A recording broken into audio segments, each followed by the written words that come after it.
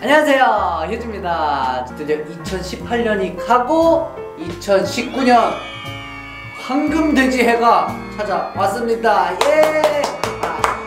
아, 먼저 2018년을 잠깐 되돌아보면 제 인생에서 정말 잊지 못할 한 해가 될 것 같습니다. 20만 구독자 달성하는 것도 성공을 했고 계속 사랑해 주셨으면 좋겠습니다. 감사합니다. 10만 빠빠빠빠 빠빠빠빠 우 그리고 점점 저 휴지를 좋아해 주시는 분들이 어, 많아지는 것 같아서 굉장히 또 기쁘고 설렙니다.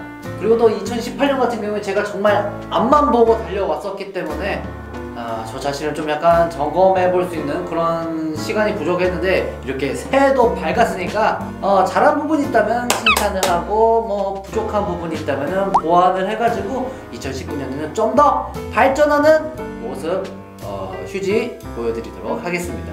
그래서 2019년에는 더더욱 발전하고 또 발전해서 여러분들께 항상 즐거움을 선사해드릴 수 있는 그런 크리에이터 휴지가 되보도록 하겠습니다. 여러분들 2018년은 어떠셨나요? 여러분들도 더더욱 발전하고 하는 일마다 잘 될 수 있는 그런 2019년이 되셨으면 좋겠습니다. 여러분들 2018년 감사했습니다.